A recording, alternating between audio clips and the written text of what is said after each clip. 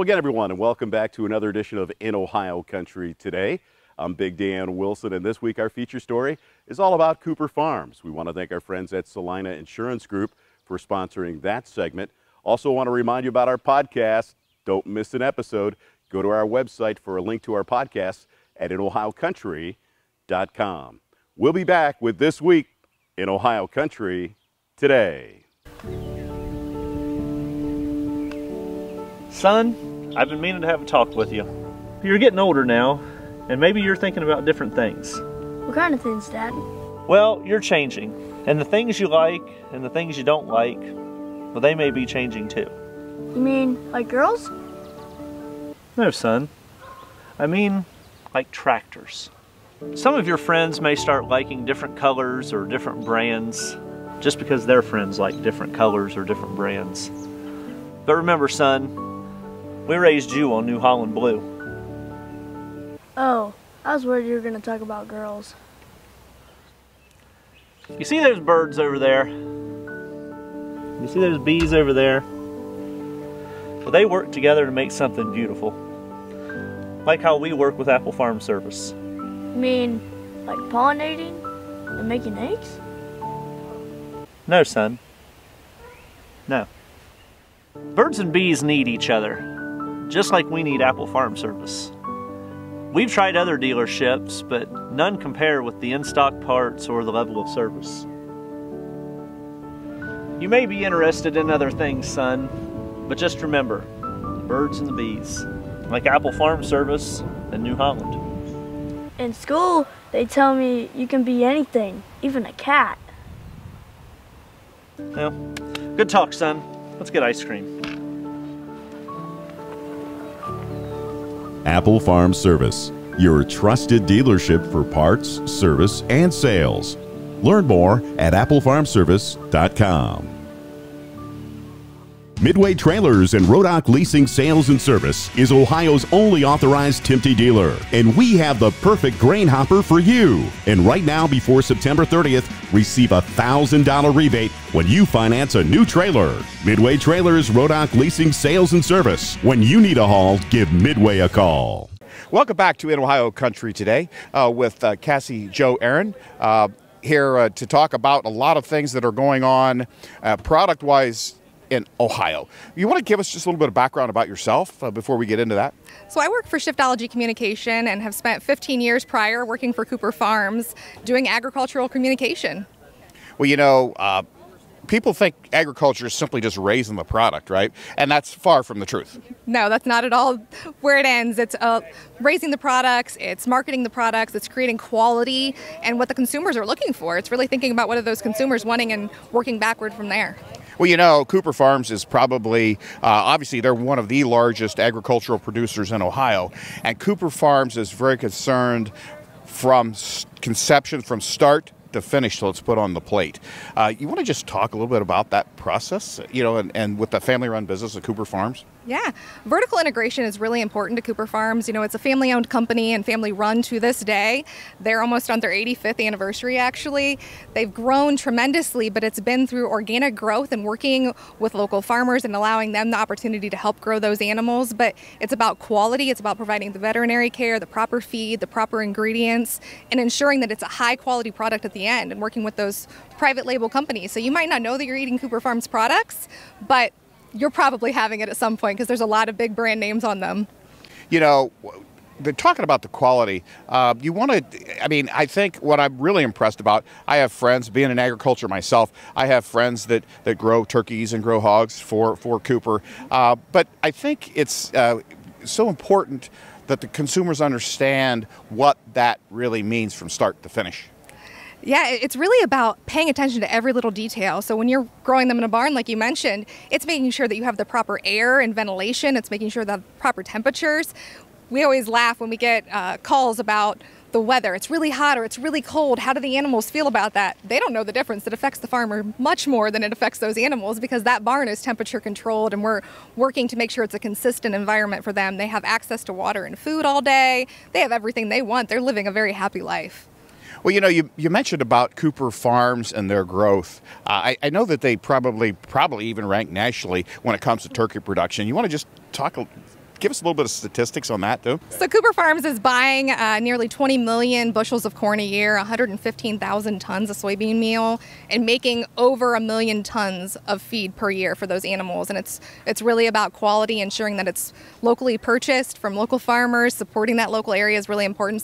Supporting those local economies, and then providing quality feed to those animals, knowing exactly what's in it and that they're getting the right ration at the right age so that it's 100% quality at all times. Um, as far as turkeys, raised, they hatch about 15 million poults a year and it's about 35 million live pounds. Cooper Farms is definitely one of the top uh, turkey producers in the United States. They have been for many years and they continue to work their way up.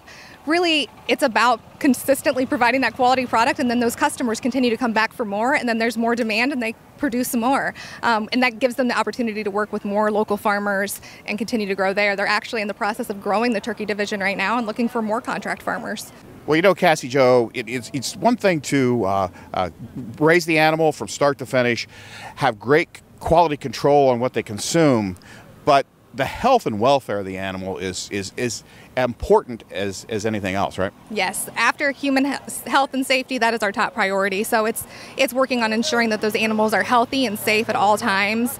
Um, with HPAI right now, high pathogen highly pathogenic avian influenza out right now. That's a big priority, and a lot of people are very concerned about that. And our veterinary team is working every single day to ensure that that is not a concern and to mitigate any risks. So on our breeding farms where it's the highest risk, where you have the the moms laying the eggs, um, you're making sure that we're showering every every team member in every day. They're showering out. They wear farm clothing when they're on the farm. They change back into their street clothing off the farm. If you're coming into any other farm, you're ensuring that you're covering your boots. You're not wearing streetwear into a barn. You're covering them with plastic or you're changing boots altogether. You're wearing special coveralls. So you're ensuring that you're not bringing things from outside into a farm because that's the biggest risk that there is. Tracking with your feet is the best way to bring a disease in. So we're always working to mitigate that risk.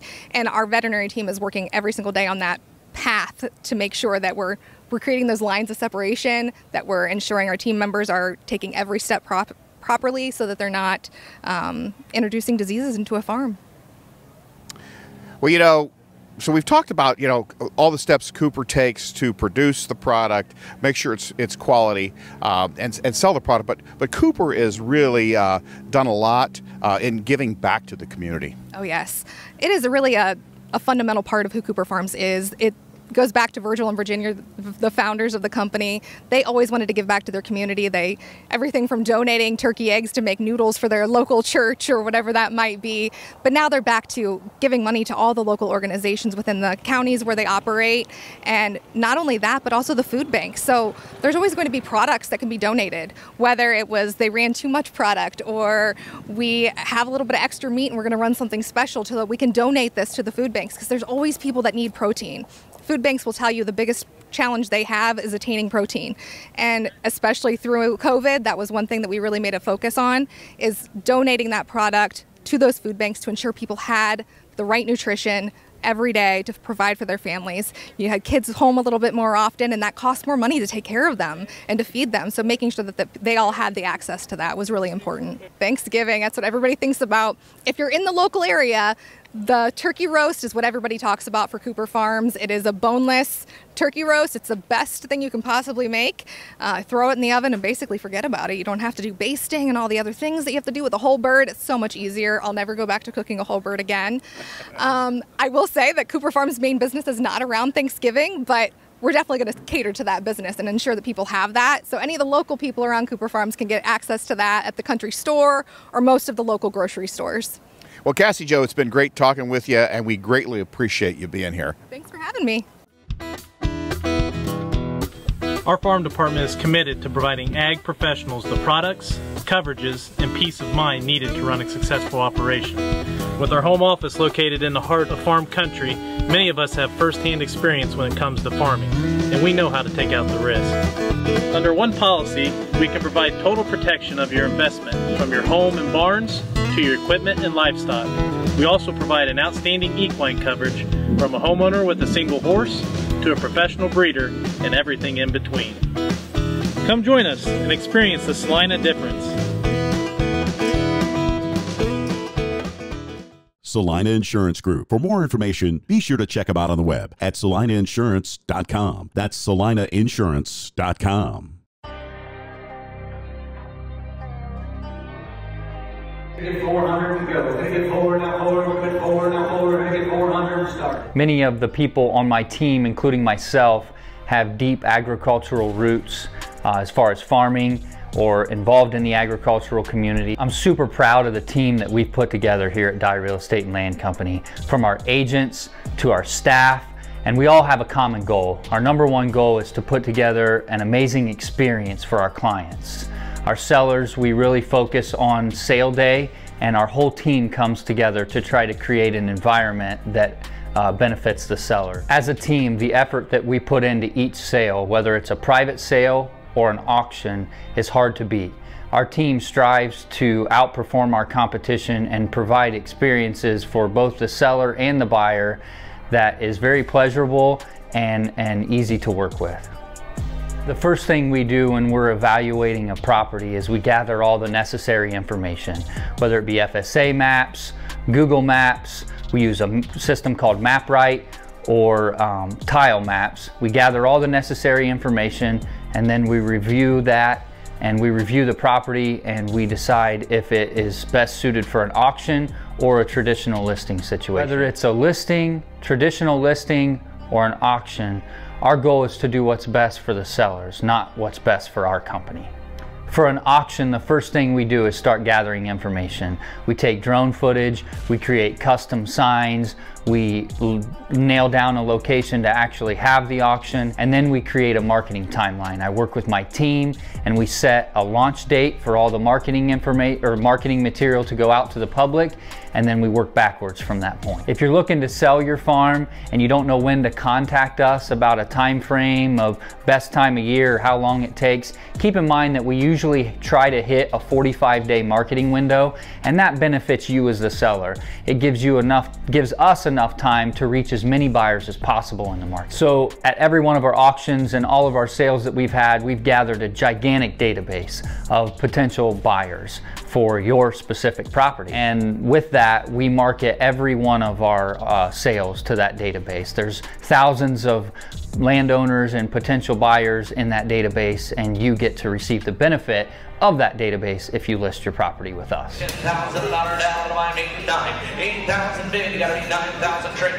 The first thing that we do is recreate all of the print material, flyers, and then we work on social media posts and videos and we create custom videos for your farm or property. Uh, we send out the print material to a 10 mile radius of every landowner that owns 30 acres or more in a 10 mile radius of your specific property.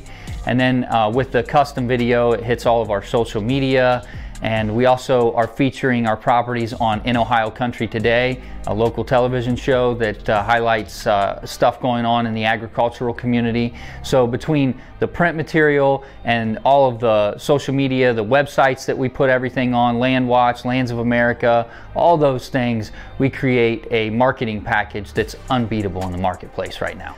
We also like to take the old school approach to sales and marketing. From the time we list that farm until the day of the auction, we're out talking to landowners in the area, investors that may be coming from out of the area, and our goal is on sale day to almost have pre-sold it. We know where we're gonna be, and it's usually that extra little bit that we put in the effort that pushes that over the expectations of the seller. Usually in the sales process, uh, we're working with a family that's selling a farm that they've owned for many generations, and you get one chance to sell that in your entire lifetime. People on our team focus on serving you as the owner and the seller and doing a job that is extremely humbling, but yet focused to give you the best experience you can through that transition. At the end of the day, our goal is to exceed the seller's expectations and walk away from the transaction knowing that we have served them to the best of our ability.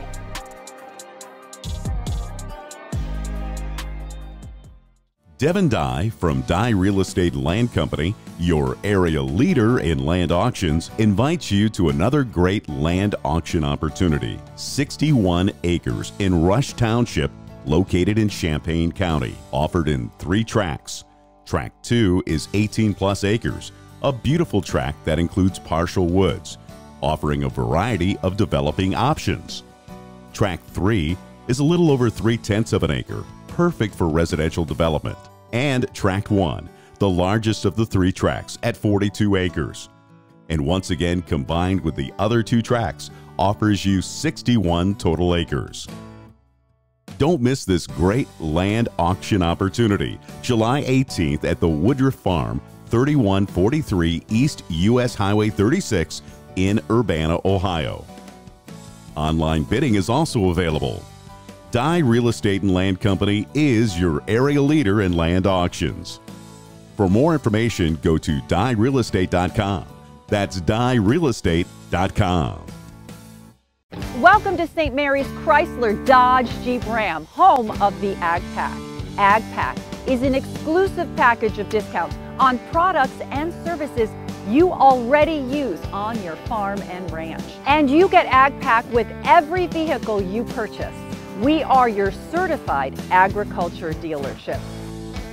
You get straight talk, real service, and the right price. St. Mary's Chrysler. You get straight talk. Hi, everyone. Welcome back to In Ohio Country today. I'm Brenda Berge, and I'm here with Amanda, who is the owner of Pusheta Creek Steaks. So, tell us a little bit about what we're going to be cooking today. So, today we're going to make some Maid-Rites and some Sloppy Joes. So, Maid-Rite was actually developed in Iowa, so it's kind of an Iowa thing. And then Sloppy Joes are more of a tomato based hamburger mixture. And then today we're going to do them out here on the griddle because it's just a nice, wonderful day and it's grilling season. And I just thought it'd be a fun thing to do outside on the griddle. You can also make them inside in a skillet or you can put them in a crock pot. So there's a couple different ways we can make them. Well, I'm excited about this because Sloppy Joe's is definitely one of my favorite dishes. And I have to warn you, I am not Martha Stewart. So I'm looking forward to probably learning a few things today with you and can't wait to taste this Sloppy Joe recipe. Okay, so what are we starting with? What ingredients? Uh, so we put some oil on our griddle. Uh, we're going to start with our onion. Just a sweet onion? Yeah, just a plain white onion. Okay. You can do sweet onions. You can do kind of, kind of whatever preference. So we're just going to turn this out right here. That's the star of the show. Yeah, exactly. One pound of hamburger. Okay. And we're going to clean our hands up here quick.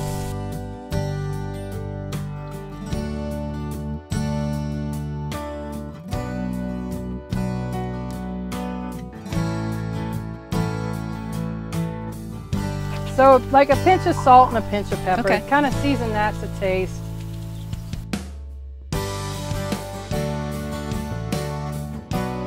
We're gonna do a little bit of yellow mustard here.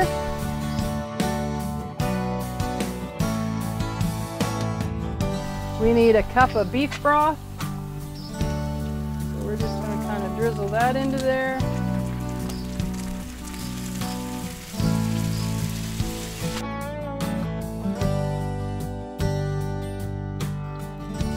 So and then we're gonna we're gonna add our Worcestershire. Some recipes call for some water. This one we probably don't have to use water um, because the beef broth added enough water to it or enough moisture to it. So.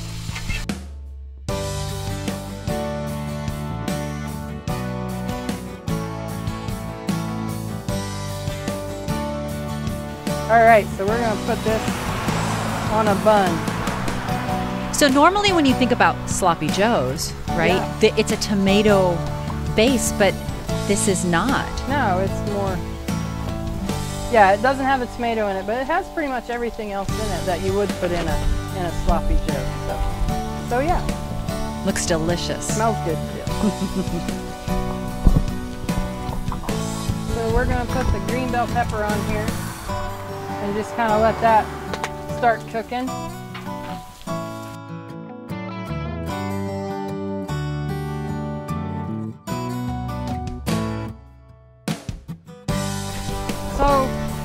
Just gonna dump some tomato sauce in here just to get it soupy enough, but in a skillet on the stove you would add a whole complete 15 ounce can of tomato sauce.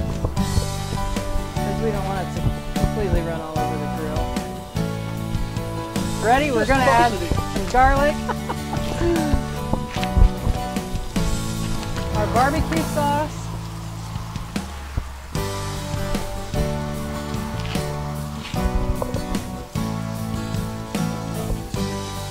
In this recipe, we put brown sugar instead of the white sugar and some ketchup.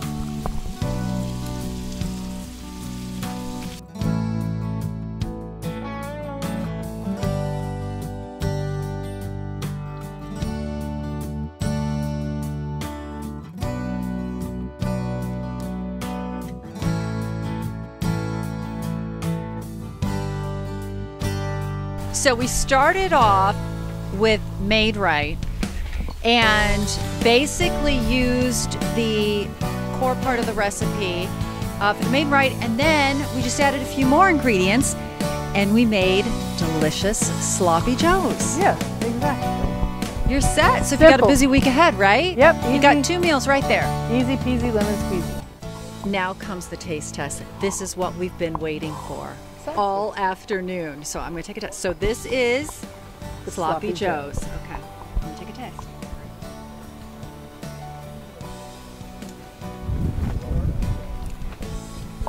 I'm not kidding. That is delicious.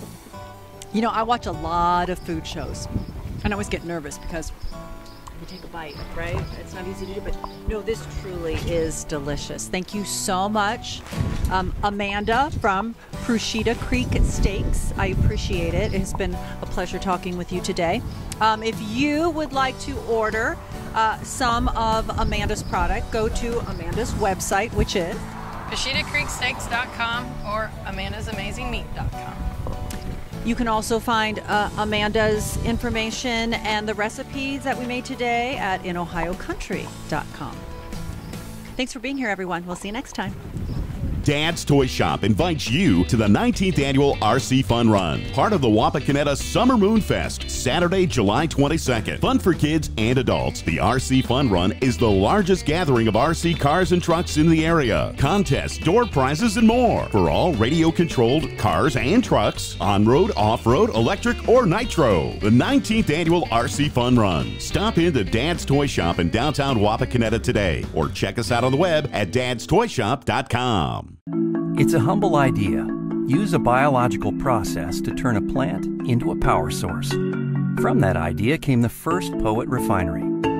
One biorefinery in one town turned into 27 facilities in 27 towns, creating new local jobs, producing hundreds of millions of gallons of ethanol, and providing renewable products around the world. Suddenly, that one little idea seems a whole lot bigger. See the world differently with Poet.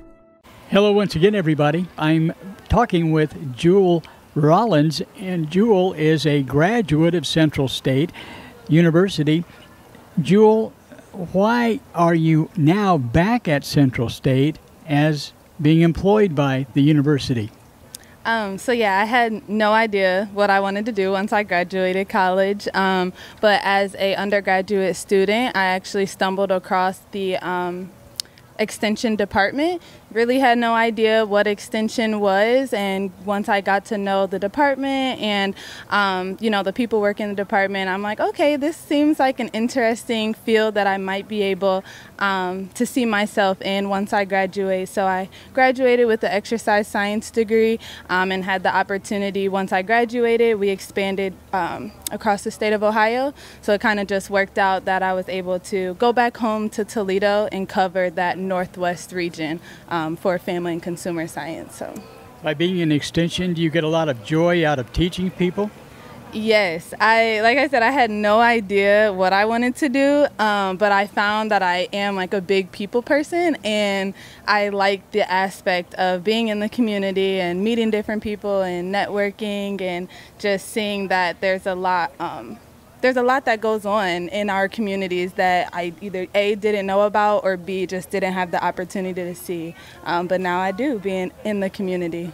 Now, if there would be any student watching or parents of students watching right now that would have some questions, what's the best way for them to find out more information?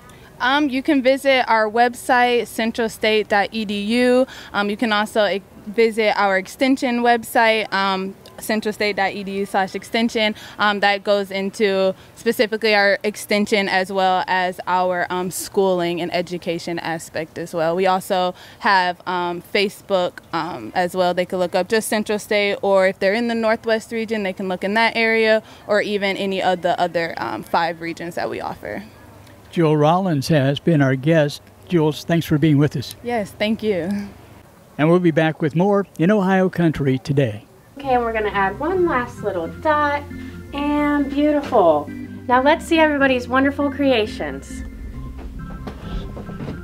That's beautiful. I love the colors. That's special. Uh, I'm sorry. My mind's not here today. I can do it again. Tractors on your mind? Apple Farm Service can help with that. With dozens of brands like Kioti, Kubota, New Holland, and Case IH, Apple Farm Service is your one stop shop for your next tractor, implement, attachment, or machine. Visit applefarmservice.com slash inventory to view their entire in stock tractors. I'm sorry. I'm sorry. I'm going to Apples.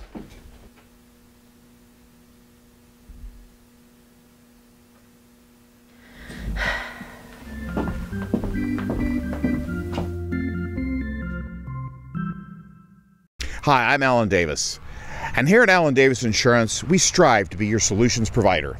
As a business owner and an active farmer, I know the challenges firsthand that you face to run your business and your farm. Give us a call, 419 738 7447, for your auto, home, life, farm, commercial, crop, and financial services. Or check us out on the web at allendavisinsurance.com. Hey, that's going to do it for this week's edition of In Ohio Country Today from the home of Midway Trailer. Midway Trailer and Rodock, one of our fine sponsors. If you want more information about them, you can always check us out on the web at inohiocountry.com. There you'll find links to our YouTube channel, our Facebook page, and our podcast. Check us out on the web at inohiocountry.com. That's inohiocountry.com.